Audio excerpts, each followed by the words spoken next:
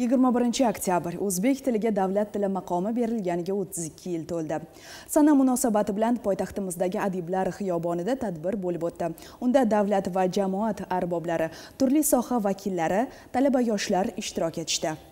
Shuningdek o'zbek tili bayrami arafasida joylarda turli tadbirlar va uchrashuvlar ham tashkil etildi. O'simliklar karantini va himoyasi agentligida ham til millatning ma'naviy boyligi mavzusida ma'naviy ma'rifiy tadbir bo'lib o'tdi. Uchrashuvda ta'kidlangandek har bir xalqning o'zligini namoyon qilishda jamiyatning rivojlanishida til g'oyat muhim ahamiyatga ega bo'lib til xalqning tarixini ma'naviy qadriyatini madaniy merosini urf odatlarini o'zida mujassam etgan bebaho xazina hisoblanadi.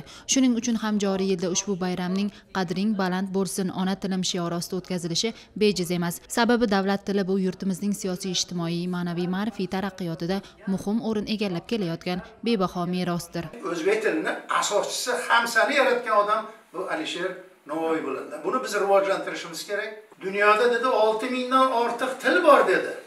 Lekin davlat tili maqomi berilgani ikki yuz atrofida juda katta narsa. Agarda siz bilan biz buni boyitmasak ishlamasak sof o'zbek tilida gapirib farzandlarimiz nabiralarimiz uyimizdagilarga hammamiz va atrofga buni yetkazmasak Pela mazan mao kaya pasay pura. Davra suhbatda vazirlar mahkamasining lotin yozuviga asoslangan o'zbek alifbosiga bosqichma bosqich to'liq o'tishni ta'minlash chora tadbirlari to'g'risida qarori ijrosi bo'yicha o'simliklar karantini va himoyasi ilmiy tadqiqot institutining nomlarini shuningdek peshlavhalar ommaviy targ'ibot vositalari va barcha turdagi blanklarning lotin yozuviga asoslangan o'zbek alifbosida qaytadan chop etishlari tashkil etilganligi qolaversa agentlik veb sayti hamda ijtimoiy tarmoqlardagi sahifalari to'liq lotin alifbosiga asoslangan o'zbek tilida yuritilayotganligi ma'lumot tariqasida aytib o'tildi.